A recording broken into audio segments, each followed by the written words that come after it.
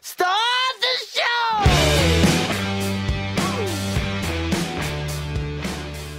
But many of you have, may have heard of Greenville Forward. It's an organization that I created eight years ago, and we're facilitating a vision for Greenville. Uh, we're facilitating a vision that has made Greenville as the cool place that it is today, that you're sitting in right now. So we'll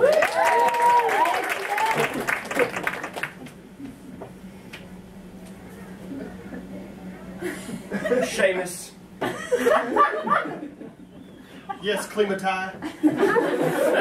I have a vision. I have a vision that we pioneers will uh, plant a city here. And then significantly later, people will judge the city as not worth having been created. and then fix it. Establish a broken city. What town.